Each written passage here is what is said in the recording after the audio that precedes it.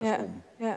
En we zijn er als het ware met lijf en ziel nu echt in betrokken, omdat Ja. we ook, denk ik, bang zijn en, en, en uitzien naar een helpende hand. eh, die... En dan komt het dus aan op een bazaal vertrouwen. Eigenlijk een godsvertrouwen, hoor ik je zeggen. Ja, ja dat, dat klinkt vromer dan ik mezelf ooit had, Ja, ooit had gedacht. Maar ehm, omdat ik ook wel denk, ehm, wij, wij worden ook wel met de grenzen van ons eigen vermogen geconfronteerd. Dus de oplossingen moeten erg uit onszelf komen. En de ene viroloog heeft daar een beter idee over dan de ander. En dan komen er ook weer economen bij die weer andere dingen vertellen, die allemaal gelijk hebben. Maar wat natuurlijk het bevrijdende van het paasverhaal is dat je, ja, het klinkt een beetje raar, maar dat je eigenlijk zomaar wat doet. Eigenlijk doe je een beetje in het wilde weg maar wat God van je vraagt. En dat is vertrouwen hebben in dat Hij eh, eh, eh, ja, die, die, die angst pleiten zal, de dood, doodsangst eh, eh, voorbij zal gaan. En je hebt, je hebt dan te volgen. Dat is toch aardiger dan dat je nu eh, ongelooflijk je hoofd moet breken over hoe kom je hier zelf nu uit, of hoe kom je nou zelf voorbij je eigen angst. is dat wat we doen? Wat we proberen te doen met z'n allen? Ik, ik, ik, ja, we, we- nou, we laten ons tenminste enorm in de greep nemen door de angst. Dus, dus die wordt ook gegenereerd, denk ik. Hoe merk je dat? Nou, we praten onszelf natuurlijk ook dat een beetje aan, denk ik. In de straat, in, in Ja. wat we elkaar vertellen, in wat we nu weer hebben gehoord, in de dodentallen die ons steeds meer weer door het... Ja, ja oké, maar het is, we praten er veel over en we genereren het, maar soms is het ook echt eh, een groot probleem. Bijvoorbeeld, ehm, stel ik, had een, eh, ik ben een restaurant gestart een tijdje terug en dat dreigt nu eh, failliet te gaan. ja, Hoe, hoe kan jouw verhaal eh, mij dan helpen? ja. Ja, heel, ja, een hele goede vraag. Ik bedoel, dat is natuurlijk ook gewoon de reële angst waarmee mensen zitten. En die kun je ook niet bagatelliseren natuurlijk, Mhm. inderdaad. Dat is ook iets, ik bedoel, ja... eh, eh, hoe, misschien, hè, dat is ook de grote angst. Dit kan je baan kosten, dit kan je inkomen kosten. Dit, Of dit- leven? of leven kosten. Ja. Ehm, Ja. En het malle is dan toch, vind ik, dat... Ja, ik misschien ook wel een beetje van wat moet je anders dan zeggen... eh, laat ik niet bang zijn. Dus dit is eigenlijk het enige verhaal wat ons kan helpen in deze tijd. Ja, omdat het tegenover je eigen ervaringen wordt gezegd... Jezus Christus is opgestaan. Dus dat is natuurlijk ook ongelooflijk. Dat, dat kan helemaal niet. En dat Nee. kan ook niet op een of andere manier ook gerelateerd, gerelateerd worden aan je eigen bestaan. Want die, dat loopt ten dode, zeg maar even. Daar, daar, Voor iedereen voor uiteindelijk. iedereen eigenlijk. Ja. Maar nu dus. Extra, omdat je inderdaad denkt, ja, dit overleef ik misschien niet. Eh, Nee. In economische zin, maar ook gewoon puur fysiek niet. Eh, dit, Ja. dit, kan ik er niet bij hebben. Dat is ook het reële verhaal van, van mensen om ons heen. Die zeggen, Ja. hè, als ik in dat IC terechtkom, dan, dan red ik dat waarschijnlijk niet. Nee. Ehm, overigens zijn er ook wel mensen die gek genoeg ook daar wel vrede mee hebben. Zeggen, nou ja, hè, dat, eh, aan mijn lijf geen polonaise. Een mens moet toch op een manier ergens aan dood en zo. Dat vind ik ook weer heel ontnuchterend, wat ik ook wel weer hoor. Maar wat jij als voorbeeld geeft, is natuurlijk wel een heel duidelijk voorbeeld van... ja, luister, hè, ZZP'er of zo, of, eh, of in de creatieve sector, ik red dit gewoon niet. Of, Ja, mensen die hun hoofd niet boven water houden of die het te zwaar vinden met hun kinderen thuis en de zorg voor misschien wel ja, zieke ouders of zieke Ja. kinderen. En, Ja. Ja. ja, Ja, maar- ja. Ja, en, en, en dat zal denk ik ook, ja, het klinkt een beetje alsof ik het nou niet helemaal serieus neem, maar dat zal natuurlijk ook de ervaring zijn geweest van, van die slaven. Die, die, die, ehm, eh, die, die eh, gingen hun leven ook niet redden, ehm, maar ze werden als het ware eruit gebonjourd. Die door- slaven in Egypte. Ja.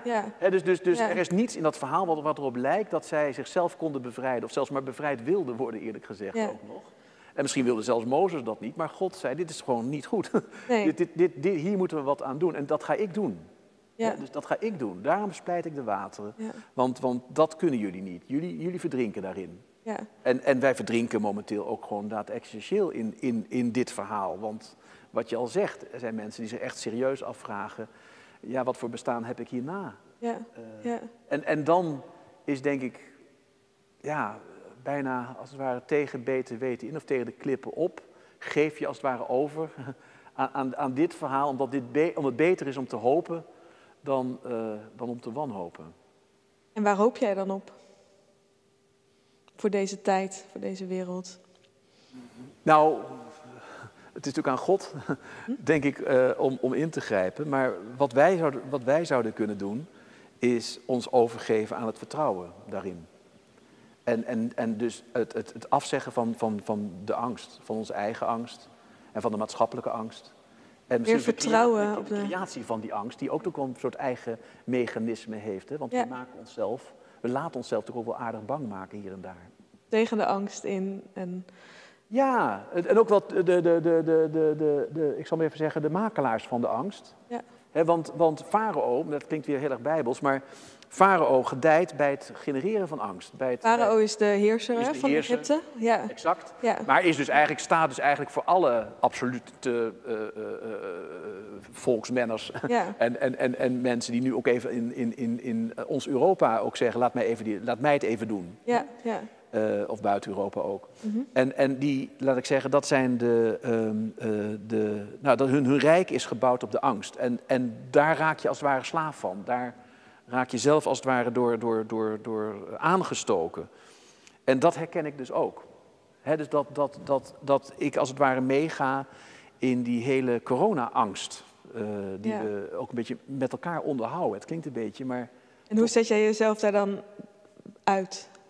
Hoe haal je jezelf uit die angstspiraal? Nou, door, door het verhaal is ook kritisch van aard. Door ook te zeggen, eh, is het laatste woord nu echt aan de farao's van deze wereld?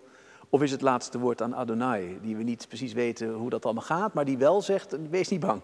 Ja. En, en, en ehm, geef je daaraan over.